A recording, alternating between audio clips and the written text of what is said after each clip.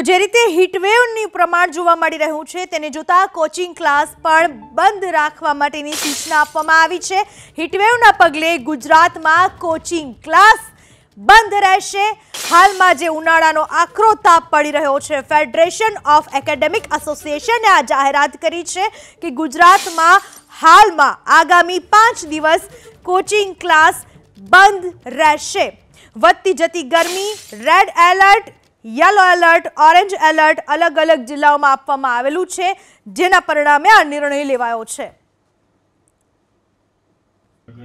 મહાનગર સહિત સમગ્ર ગુજરાતના જિલ્લે જિલ્લે અને તાલુકા તાલુકે આ સંસ્થાના સદસ્યો છે. ફેડરેશનની કમિટીની, કોર કમિટીની બેઠકમાં નક્કી કરવામાં આવ્યું છે કે જે પ્રમાણે ગુજરાતમાં રેડ એલર્ટ અને ઓરેન્જ એલર્ટ આવનારા પાંચ દિવસોની અંદર થવામાં આવનાર છે.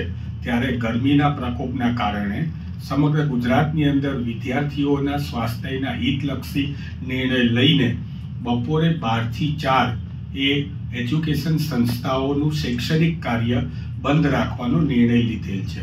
અને જે પ્રમાણે ગરમી વધારે છે, તો જે જે સંસ્થાઓ પાસે એર કન્ડિશનની અથવા તો કુલરની વ્યવસ્થા છે, ત્યાં સવારના અને સાંજના ટાઈમમાં પણ એર કન્ડિશનની વ્યવસ્થા રાખવામાં આવે.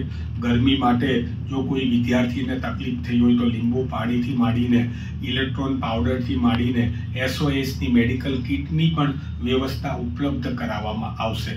આમ આવનારા દિવસોની અંદર ગરમીની સાથે આપ સૌ સાથે મળીને, આપણે સૌ સાથે મળીને સમાજલક્ષી કાર્યથી આપણે ગરમીને મહાત કરી શકીશું.